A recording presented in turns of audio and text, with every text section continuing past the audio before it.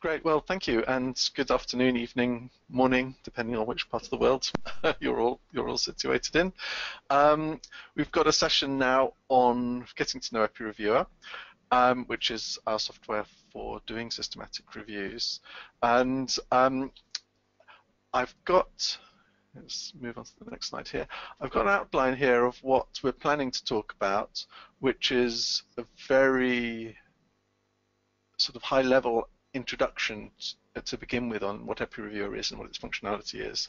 A little bit on its integration with Archie and RevMan, um, and then thinking about some of its um, specific functionality for systematic reviews. So I, I, know a lot of people are interested in using machine learning and text mining for citation screening, so um, I've got a little bit on that. Um, then some content on doing quality assessment or data extraction in complex qualitative reviews. And what I'm going to concentrate there is on the on what how the software supports that rather than you know what tools should be used because um, that could be a whole extra presentation on its own. Um, and then a little bit on advanced meta-analysis. And what we're interested there is is um, interacting with people who are doing different types of analyses because um, the, the options that we can make available are, are quite varied and quite numerous.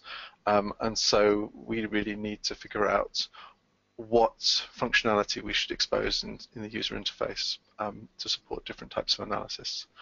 So that's the rough overview. Um, I'd like to have this as interactive as possible, so do please um, raise hands or or use the questions as we go, and Chris will um, alert me when there are um, questions which might need addressing at particular points during the presentation. Okay, so I'll start now um, just with a high-level overview of what Reviewer looks like, uh, a very quick overview. Um, okay, so EPPI-Reviewer is an online platform for doing systematic reviews, and it's actually situated on the um, the Azure web, which is just sort of like a Microsoft hosting environment, um, and you you access it through a web browser, as most of you, if you've if you've um, tried it, will know.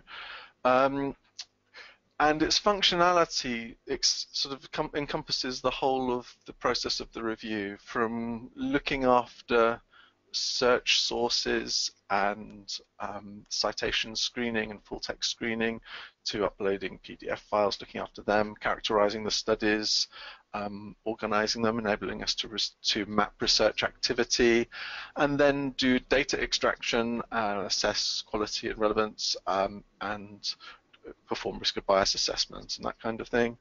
And then finally, to do a range of different types of synthesis.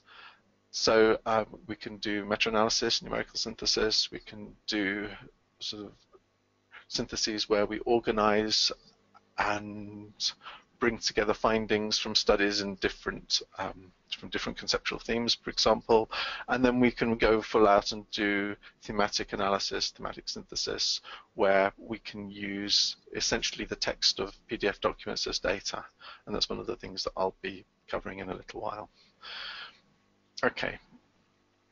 Are there any questions so far? I can't see any questions. So, raised hands, so I'll keep going for now.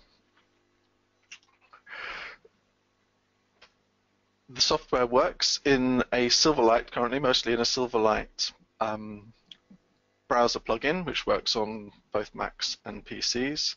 Uh, we're currently working on an HTML front as well, but the Silverlight plugin is where most of the action happens at the moment.